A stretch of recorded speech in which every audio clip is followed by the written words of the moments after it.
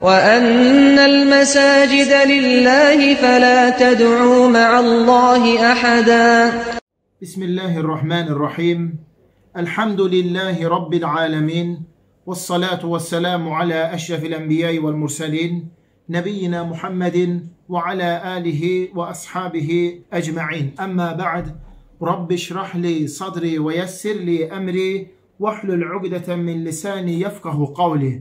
اللهم علمنا ما ينفعنا وانفعنا بما علمتنا وزدنا علما وأصلح لنا شأننا كله ولا تكلنا إلى أنفسنا طرفة عين Değerli, kıymetli kardeşler, alemlerin Rabbi olan Allah'a sonsuz həmd sanalar olsun. Onun sonuncu Peyğəmbəri Muhammed sallallahu aleyhi və səlləmə, onun ailəsinə, sahabələrinə, əhli beytinə və qiyamət gününə dək onlara gözəl şəkildə tabi olanlara Allahın salavatı, salamı, xeyir, duası və bərəkəti olsun. Əziz qardaşlar, Allah Taala'nın müvəffəqiyyəti, onun yardımı və köməkliyi ilə böyük alim Şeyx Muhammed İbn Abdülvahhab İbn Süleyman Ət-Təmimi rahimehullahın Usulu Sittə 6 əsas kitabını öyrənib bərabərcə oxumağa davam edirik. Bizlər müqəddimə olaraq keçən dərsimizdə Şeyx Muhammed İbn Abdülvahhab İbn Süleyman Ət-Təmimi rahimehullahın həyatı haqqında öyrəndik. Şeyx Muhammed İbn Abdülvahhab İbn Süleyman Ət-Təmimi rahimehullah məşhur Bəni Təmim qabiləsindən, ailəsindən olmuşdur. Bəni Təmim qabiləsi Allah Resulü sallallahu aleyhi və səlləm o qəbilə haqqında mənim ümmətim arasında Dəccala qarşı ən güclü, ən şiddətli olanlar Bəni Təmim qabiləsinin şəxsləri olacaqdır. Peyğəmbər sallallahu aleyhi və səlləm bu qəbilə haqqında onlar bizim qövmümüzün ən doğru danışan şəxsləri, doğru sözlü insanlarıdır. Şeyx Hicrətin 1115-ci ildə Ərəbistan yarımadasının Nəcd bölgəsində Oyeynə şəhərində dünyaya gəlmişdir. Alim, elmli, ziyalı, çox tanınıb bilinən bir ailədə, nəsildə dünyaya gəlmişdir. Şeyx hələm kiçik yaşlarında elm öyrənməyə başlamış, 20 yaşında artıq Məkkəyə elm öyrənmək üçün oradan da Mədinəyə səfərlər edib elm tələb etməyə başlamışdır. Məkkə və Mədinə orada alimlərin yanında olub, onlardan elm alıb, faydalanıb, daha sonra Basraya, Şama, İraqa səfərlər etmiş, oradakı alimlərin, şeyxlərin yanında faydalanıb elm almışdır. Şeyx Muhammed İbn Abdülvahhab İbn Süleyman Ət-Təmimi hələm 10 yaşına çatanda artıq Quran-ı Kərimi əzbərləmişdi. Artıq 10 yaşına çatanda Quran-ı Kərimi əzbərləyib tamamlamışdı. Bundan sonra məşhur hədis kitabları Səhih Əl-Buxari, Səhih Əl-Muslim və digər kitabları əzbərləyib, oxuyub alimlərin yanında şərhin, izahın öyrənmişdi.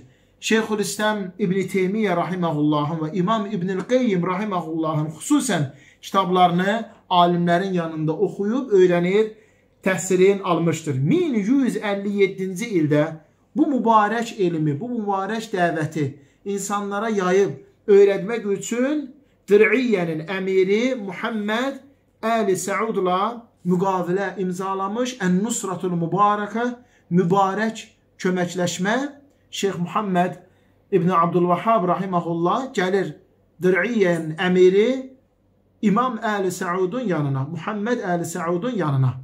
Ona ərz edir dəvəti, bu mübarək tohid sünnə dəvətin, İslamın əsasların insanlara öyrədib, başa salıb, əmr bil ma'ruf və nəhy anil munkar, yaxşılıqları əmr edib, pislikdən çəkindirmək, insanları şirkdən, bidətdən uzaqlayıb, təmizləmək, bu cahillikdən xilas olmaları bu mövhumatdan İmam Muhammed Əl-Suud ona bu dəvətdə köməklik edəcəyinə dair söz verir və deyir ki, sən insanlara bu haqqı, bu doğru yolu öyrət.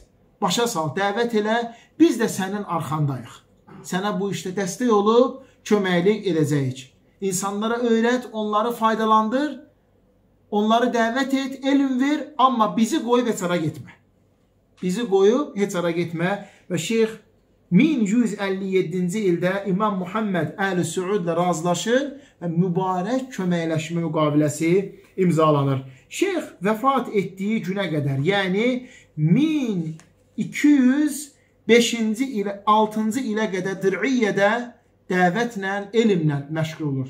Təxminən 93 illik həyat Allah Taala'nın bərəkət verdiyi, çoxlu xeyirlər verdiyi ömür şeyx dəvətlə, elmlə, elm tələb etməklə həyatın keçirir, çox qiymətli kitablar yazır.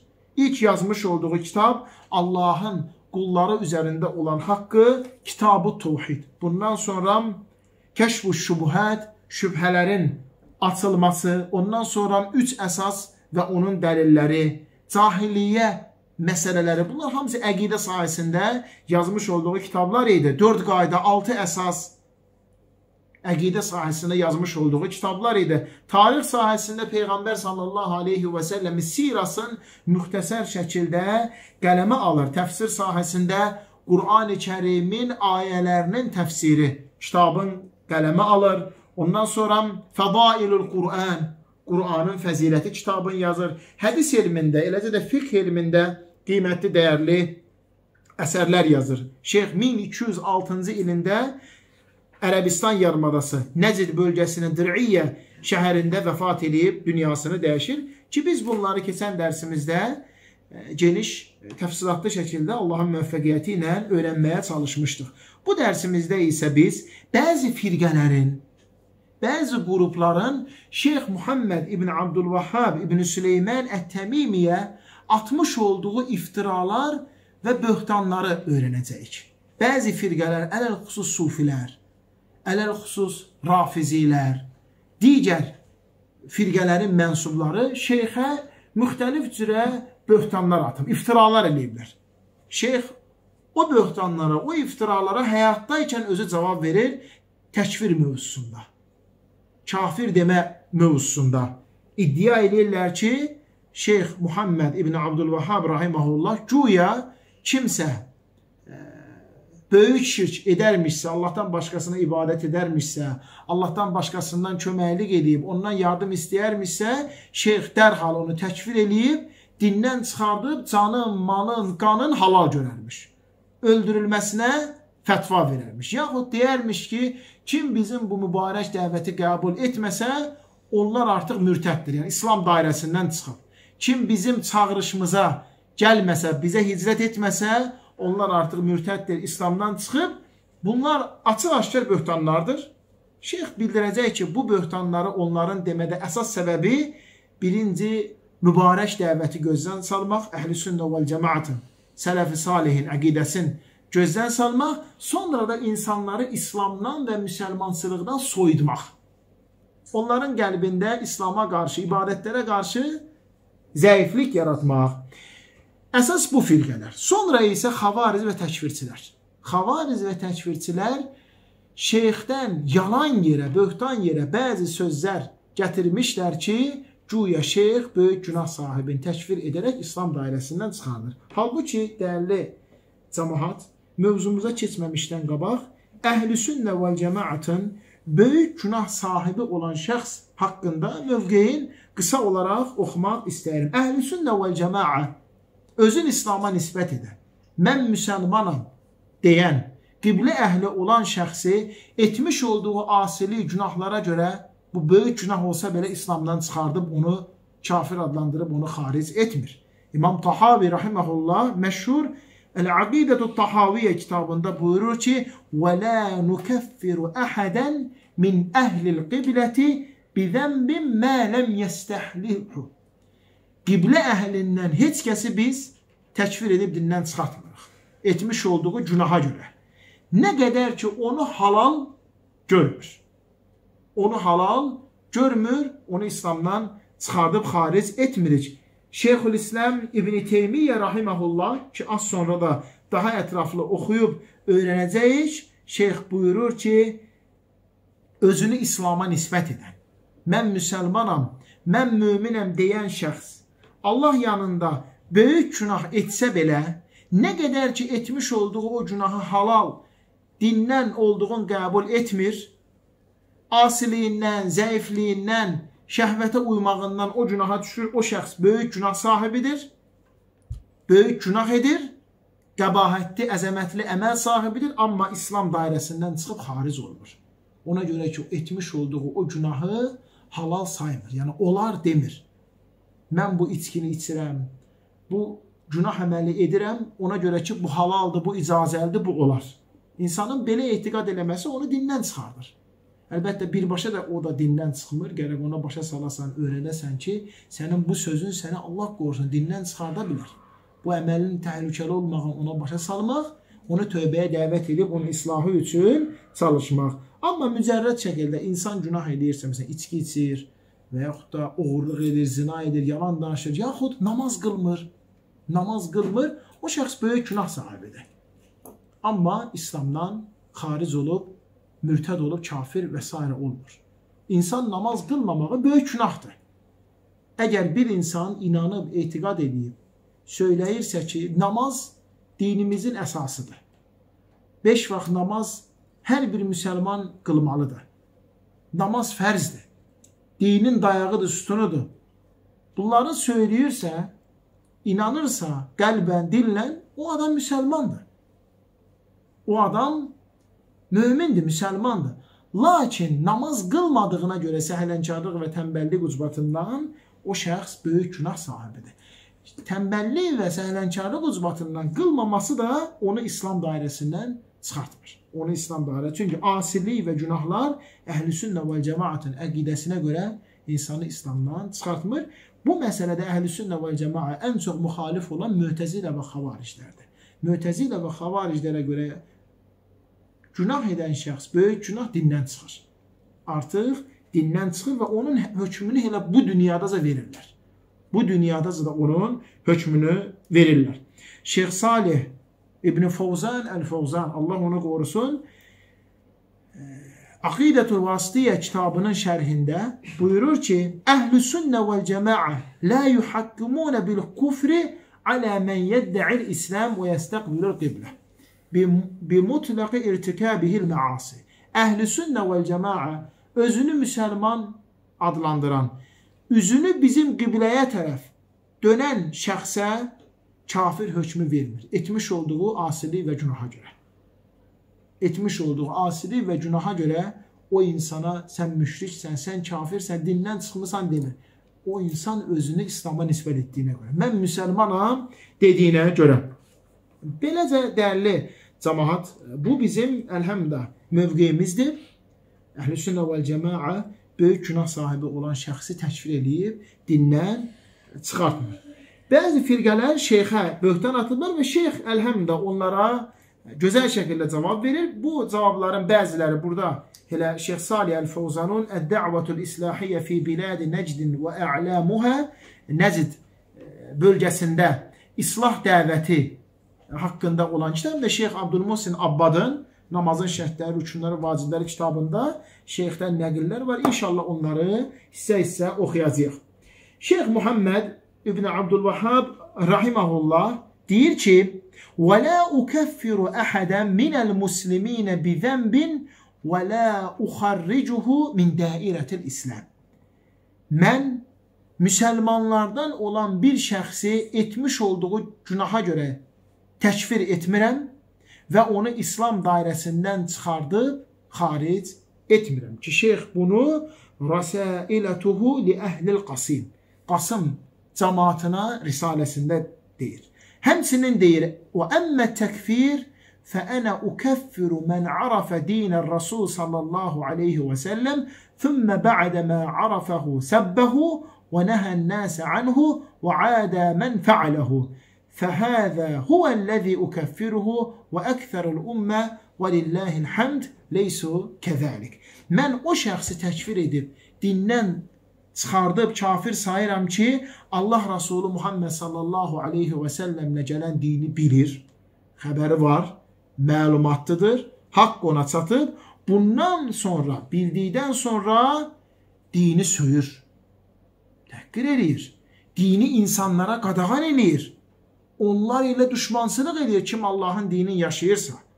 Kim Allahın əmrlərini yerinə yetirib qadağalarını çəkilirsə, onlar ilə düşmançılıq edir. Həmin o haqqı bilən, doğru yol ona bəlli olan şəxs Allaha həmd olsun ki, bizim ümmətimizin içərisində belə şəxslər olduqca azdır. Şeyx axır kəlməsin bununla tamamlayır ki, və bu da Əd-Durərus Səniyyə kitabında gəlir. Allah həmd olsun ki, bizim ümmətimizin içərisindəki cəmaat belə deyildir. Şeyx həmçinin buyurur ki في موضع آخر التهم كلها حول التكvir أو طلبه من الناس الهicrة إليه güya insanlara təkfir etməsi və insanlardan tələb etməsi ki, onun olduğu yerə hicrət eləsinlər. Kim belə etməsə, o kafir olar. Şeyx buyurur ki, və əmmə mə zəkərəhu l-ə'da'u anni ənni ukəffiru biz-zann vəl-muvalə. Amma ki, düşmanlarım mənim haqqımda deyir ki, mən zənnən zənnə qapılaraq təkfir edirəm, yaxud da məsələn bizə yaxınlaşmırlar, bizlə deyirlər deyə təkfir edirəm. Əv ukəffirul cahilul ləzi ləm təqum aleyhil hüccə yaxud da hələm hüccət çatmamış, üzərindən hüccət qalxmamış bir cahili təkfir edirəm. Fəhəzə buhtanun azim.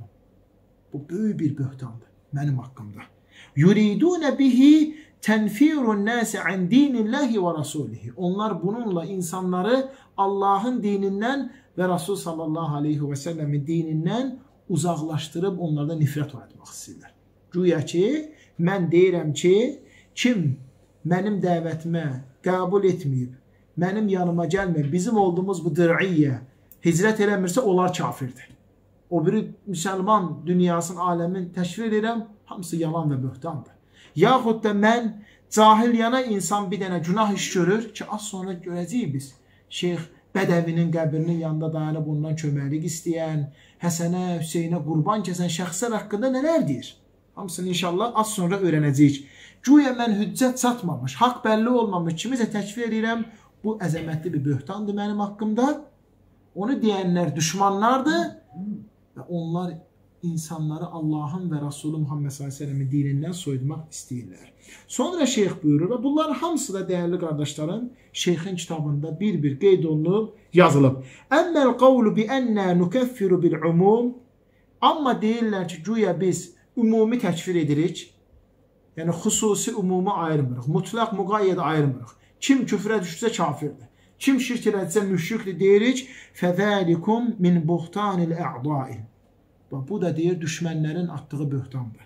Əllezine yasudduna bihi an hadza'd-din. Onların bunu etməkdə əsas məqsədləri insanları doğru dindən yayındırıb uzaqlaşdırmaqdır. Və nəqulu subhanaka hada buhtanun azim. Biz onlara deyirik ki, Allah pak və müqəddəsdir, nöqsansızdır. Həqiqətən də bu əzəmətli böhtandır. Necə ki, Yusuf aleyhisselam ona böhtan atılmışdı. O da nə dedi? Subhanəkə həzə buhtanu azim. Allah paş və müqəddəsdir. Bu çox əzəmətli bir böhtandır. Dəyərli cahamat, həmçinin şeyxin haqqında deyirlər ki, kim onun dediyin demirsə, onun rəyi ilə müvafiq olmursa, gəlib onun yanında yaşayıb, onunla birlikdə məskən salıb, bir yerdə ibadət etmirsə, o şəxslər də kafirdir. Bu da onun haqqında deyilmiş olduğum, bu, bu bir əsrimizdə də var bəzi firqə mənsubları Əhlüsünnə vəl Cəmaa haqqında deyirlər ki, güya biz deyirik, kim gəlib bizim əqidəmizdə, mənhəcimizdə döyürsə, onlar kafirdir. Yaxud onlar mürtəddir. Onların qətlə yetirmək olar, qanları, malları, canları halaldır, hamısı böhtandır. Özü də əzəmətli böhtan.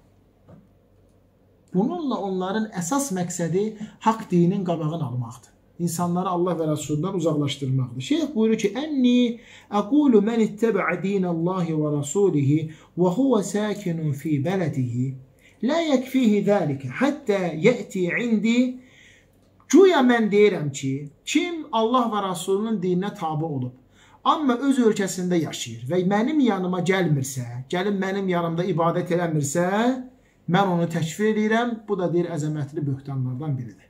Yəni adam Allah və Rasulunun dininə tabe olub, amma mən deyirəm ki, bu kifayət deyil. Nə olsun Allaha inanır? Allahın dinindədir. Nə olsun Peyğəmbər sallallahu əleyhi sünnən ibadəti. Gəlin, gəlib mənim yanımda, mənim gözümün qabağında olsun. Elə ibadət eləsin. Yoxsa o müsəlman sayılmır. Bu da deyir əzəmətli böhtanlardandır. İnnəməl muradu ittiba'u dinallahi və rasulihi sallallahu aleyhi və səlləm fi əyyir ardin kənət. Əsas olan insanın Allaha ibadət eləməyi, ona tabi olmağı, Peyğəmbər s.ə.v-in sünnəsinə tabi olub əməl etməkdir. Harada olursa olsun, hansı ölkədə, hansı şəhərdə olursa olsun, Allah subhanətələ bizi ona ibadət eləmək üçün yaradır. Harada olursansa ol, əsas odur üzünü çevir Allahın haqq dininə onu yaşa. Dəyərli qardaşlarım, eləcə də e, şeyx haqqında e, demək, e, atılan böhtanlar e, demək, e, bu kitabda şeyx Abdülmuhsin Abbad Hafizahullahın namazın şərtləri, rükunları və vacibləri kitabında e, onların bəzilərini qeyd edir. Buyurur ki, e, Şeyx Muhammed İbn Abdülvahhab rahimehullah alimlər arasında cahilliyi ən çox üzür görən şəxslərdəndir. İnsanın e, böyük günah edən zaman, hətta böyük şirkə düşən zaman cahilliyini üzür görən, bilməməsini ən çox demək üzür görən e, şəxslərdəndir və e, hansı ki onun dilindən, onun dilindən biz e, bunları Allahın müvəffəqiyyətinə oxuyub öyrənəcəyik. Və Şeyx Abdullatif İbn Abdurrahman İbn Həsən Əli Şeyx buyurur ki, və Şeyx Muhammed İbn Abdülvahhab Şeyx Muhammed Allah ona rəhmət etsin, min ə'zamun nasi tavaqqufan. Ən insanların əzəmətlisi idi. Tavaqquf eləyib dayanmaqda. Və ihkamən aləl itraqil kufri. Və eləcə də kiməsə e, mütləq şəkildə təkfir edib dindən çıxarmaqla hücum etməkdə.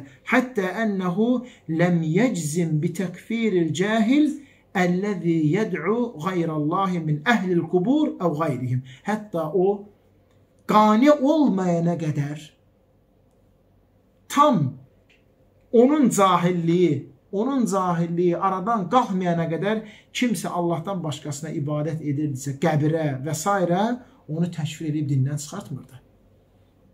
Onu təkfir edib dindən çıxartmırdı və deyirdi ki, ola bilsin ona nəsiyyət edən olmayıb. Ola bilsin ona haqq çatmayıb, ola bilsin onu öyrədən olmayıb, ola bilsin onda şübhələr var və bu şübhələri ondan uzaqlaşdıran olmuyor. Belə insanı hətta böyük şirk eləsə belə onu təkfir edib dindən çıxartmırdı. Eləcə də dəyərli qardaşlarım, şeyx yenə davam edərək buyurur ki: "Və izə kunna la nuqatilu men ya'budu qubbatan qaffaz" Əgər biz Qaffazın qübbəsinə, o da o dövrdə məşhur olan pirlərdən biridir. O qübbəyə ibadət eləyənləri dindən çıxardıb onlar ilə döyüşmürüksə, hətta nətəqəddəmə bi dəvətihi iləl-ixlas din lillah, ta ki o xalislə, ixlasla gəlib Allaha ibadət eləyənə qədər biz ondan döyüşmürüksə, necə ola bilər ki, biz gəlib bizim yanımıza hizrət eləməlisən, bizim yanımızda gəlib ibadət eləməlisən, belə şəxsləri təkfir edib dindən çıxardıq. Çünki ən böyük günah şirkdir. Şirkdən böyük günah yoxdur. Hələm şirkə düşəni böyük şirk. Biz onu təşvir edib dindən çıxartmırıqsa, necə o insanlar böhtan atırlar ki, güya şeyx gəlir, kim bizim yanımıza gəlib orada ibadət eləmirsə bizlə bir yerdə, o şəxs kafirdir və dindən çıxmış sayılır. Eləcə də dəyərli qardaşlarım, yenə e, demək şeyx buyurur e, kimdir Allahdan başqasına ibadət edir. Gedir bütlərin, qəbirlərin yanında qurban kəsir. Onlara dua edir. Onlardan istəyir, onları köməyə çağırır. Ən birinci bu əməl şirkdir. Haramdır və Allah yanında ən böyük günahdır. Lakin əgər insan bunu cahilliyindən edirsə, bilməməzliyindən edirsə, xəbərsiz olduqca bunu edirsə, o şəxs nə qədər ki cahildir, xəbərsizdir, bilmir, o şəxs böyük günah sahibi olan müsəlman. Çünki o mən müsəlmanam deyir. O mən müsəlmanam deyir, lakin bu əməli etməyi cahillik və savadsızlığı ucbatındandır. Şeyx ilk dəvətə başlayanda insanlar Zeyd adında bir qəbrin yanında gəlib ibadət edirlərdi. Zeydin qəbrinə ibadət edirlər. Hətta o dövrdə xurma ağaclarından xurma ağaclarını övlad istəyirlərdi və s. Şeyx gəlib dayanırdı ki, Allahu xayrun min zeydin. Allah Zeyddən daha xeyirlidir. O insanların yanında dayanıb ilk dediyi söz o olurdu. Dəvətdə, islahda, başa salmada insanlar ki, Zeydə ibadət edib, ondan kömək istəyirdilər. Şeyx deyirdi ki, Allahu xayrun min Zeyd. Allah Zeyddən daha xeyirlidir. Dəyərli qardaşlarım, yenə şeyxin öz kitablarından demək e, e, bu böyük günah sahibin, böyük günah sahibi haqqında şeyx buyurur ki, e, cahiliyyə məsələsində mən vaqa'a fi şirki fil ibadəti li cəhlihi kim ibadətdə cahilliyinə görə şirkə düşərsə, innəmə yəkunu ba'dəl bəyan ləhu və iqamətul hüccə lə qabilə zəlik. Əgər deyir, o demək, liənnə minəl cahilin vəl hadiqin aleyhi və alə dəvətihi. Demək, insan gəlir ibadətdə şirkə düşür, bilməməzliyi və cahillik üzbatından. O üzürlüdür, amma haqq ki ona çatır, bəyan olub, ona doğru yol başa salıb, izah olunub, onda olan şübhələr qaldırılıb, artıq demək o əməli ondan qəbul deyildir. O əməli ondan qəbul deyildir. Sonra burada sayır, demək, e, Bədəvinin qəbrinin yanında gəlib ondan istəyənlər, Həsəndən, Hüseyndən, ən çox da Hüseyndən köməklik, şəfa istəyənlər, Fatimədən övlad istəyənlər o dövrdə də demək var idi belə nümayəndələr, ələlxüsus, yəni aydındır hansı firqənin mənsubları, şeyx deyir ki, yəni belə əməl etmək, belə əməl etmək e, küfürdür və şirkdir. Və belə əməl sahibi Əhməd Bədəvinin qəbri və digər qəbirlər əgər cahilliyindən və bilməməyindən və ona bəyan olmamağından bunu edirsə, onu Allaha şərik qoşmağına görə təkfir edilbindən çıxartır. Allaha şərik qoşmağına görə təkfir edibdən çıxartmırıq, eləcə də onun canın halal görmürük, qanın halal görmürük, malın halal görmürük, onunla döyüşmürük və ona əzab, əziyyət vermirik və bizim üzərimizə düşən onu başa salıb ona izah etməkdir. Və şeyx buyurur ki, Allahı şahid gətirərək deyirəm ki, qəlbində iman və tohid olan iman olan, Allahı ibadət təkləşdirən və şirkdən uzaq duran şəxs müsəlmandır. O insan ki, əşhədu ən la ilahə illallah və əşhədu ənə Muhammeden abduhu və rasuluhu tovhid əhlidir. Və şirkdən uzaq durursa, biz şahidlik edirik ki, o müsəlmandır. Hansı zamanda yaşayırsa yaşasın, hansı məkanda yaşayırsa yaşasın.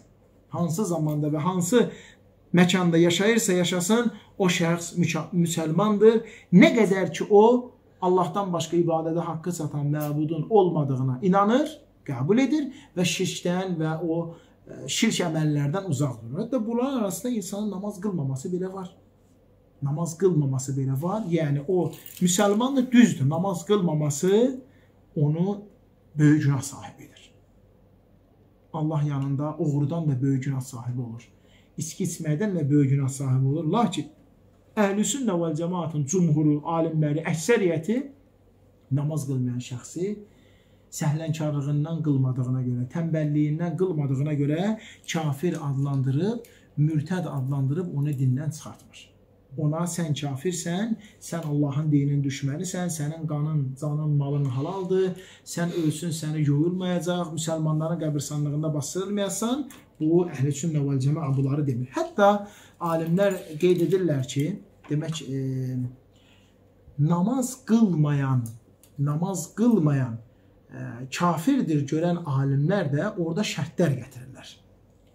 Bir insan ki, namaz qılmır, fərqi yoxdur, istər səhlənkarlığından, istər tənbəl qılmır. Hətta fərz olmağın qəbulləsə belə. İslamın əsası rükunun qəbul eləsə belə, amma yenə qılmırsa, o, o şəxs kafirdir, lakin yenə də orada təfsilat var. 1. Əgər o elə bir cəmiyyətdə yaşayır ki, o cəmiyyətdə namaz ibadətinə çox da ciddi baxılmır. Namaz qılmaq orada çox yayılmayıb, namaza qarşı insanlarda səhlənkarlıq və tənbəllik var. Həmin cəmiyyətdə o da yaşayıb, böyüyür, onda da namaza qarşı tənbəllik və səhlənkarlıq var, o şəxs kafir sayılmır. O şəxs dindən çıxmışsa, çünki o cəmiyyətdə elədir vəziyyət. Namaza ibadət çox ciddi bir ibadət kimi baxılmır ki, var belə cəmiyyətlər var müsəlmanlar arasında. Ki, əksinə ən çox bəlkə də tərk olunan ibadətlərin başında gəlir namaz qılmaq, qılmamaq. Sonra elə bir cəmiyyətdə yaşayır ki, o cəmiyyət namazın nə qədər fəzilətli olduğunu bilmir. Dində nə qədər əsas olduğunu bilmir. O cəmiyyət gözün açıb namaz adlı ibadətin nə qədər əzəmətli, fəzilət, dinin dayağın olduğunu bilmir. Bu səbəblə də o kafir olub dindən çıxmır. Bax bu hansı rəy deyən alimlərdir. O alimlər ki, namaz qılmayan kafirdir deyə. Orada da təfsilat var. Elə birbaşa o demirlər. Eləcə də elə bir cəmiyyətdə ola bilsə yaşayır ki, o cəmiyyətdə namaz qılmamağın nə qədər böyük günah olduğu bilinmir. Elə bilirlər, günahdır. Yəni ki, elə bir ki, sol əllə yemək kimi, yaxud da adam öldürmək kimi bir günahdır, yaxud da içki içmək kimi bir günahdır. Halbuki namaz qılmamaq bunların hamısından böyük günahdır. Adam öldürməkdən də böyük günahdır, içki içməkdən də böyük günahdır. Aydındır? O da o cəmiyyətin içində yaşayır, böyüyüb, o mühitin meyvəsidir. Aydındır qardaşlar? O da buna görə demək kafir olub dindən çıxmır. O vaxt ki, o yaşayır elmli bir cəmiyyətin içərisində və bu cəmiyyətdə hamı namaz qılır, Allaha ibadət edir və burada hamı bilir ki, namaz dinin əsasıdır, əzəmətlidir. Əsas ibadətdir dində tohiddən sonra fəzilətin bilir, namazı tərk eləmək nə qədər böyük günahdır bilirlər və o cəmiyyətdə o namaz qılmırsa bəli. Bu zaman o, həmin o rəy alimlərinə görə ki, o da üstün rəy deyil, yəni güclü rəy o deyil, o zaman dindən çıxır. Lakin üstün və doğru olan budur ki, bir insan namazın fərziyyətini qəbul edir, İslamın əsasını qəbul edir. Lakin tənbəlliyindən və səhlənkarlığından qılmırsa, o şəxs böyük günah sahib ki, bu haqda da çoxlu dəlillər vardır. Dəyərli qardaşlarım, bax biz bu dərsimizdə öyrəndik Şeyx Muhammed ibn Abdülvahhab rahimehullaha qarşı atılan iftiralara və böhtanlara cavab elə şeyxin öz dilindən. Elə şeyxin öz dilindən. İslam alimləri içərisində 3 böyük elm əhli, 3 böyük imam var ki, həmişə onlar batil və zəlalət əhli ilə çox böyük mübarizə aparıb. Onları çox dəvət edib. Onların islahına çox çalışıb. Onlarla sözün əsl mənasında Allah Subhanahu taala Quran-ı buyurduğu kimi böyük cihad aparıb. Yəni elmlə, dəvətlə olan cihad. Böyük cihad odur. Rafizilər və Aşarilərlə. Şeyxülislam İbn Teymiyyə, Rafizi və Aşarilərlə. Şeyxülislam İbn Teymiyyə Sufilər və qəbirpərəstlərlə Şeyx Muhammed ibn Abdülvahhab rahiməhullah və ixvan və hizbilərlə Şeyx Rabi ibn Hədi Əl-Mədxəli. Ona görə o firqələrin mənsublarına baxsan, ən çox iftira edib böhtan atdıqları bax bu alimlər, bu şeyxlərdir. Allah Subhanahu taala bizləri eşidib faydalanan qullarından etsin. İnşallah gələn dərsimizdə isə artıq birinci əsasa başlayacağıq. Birinci əsas Allah subhanahu və taala ilə dində ixlaslı olmaq, yalnız Allaha ibadət etmək, ona heç bir şeyi və heç nəyi şərik qoşmamaq. Allah Taala bizləri eşidib faydalanan qullarından etsin. Uca Allah bizim bu bəhsimizi xeyirli, bərəkətli və faydalı etsin.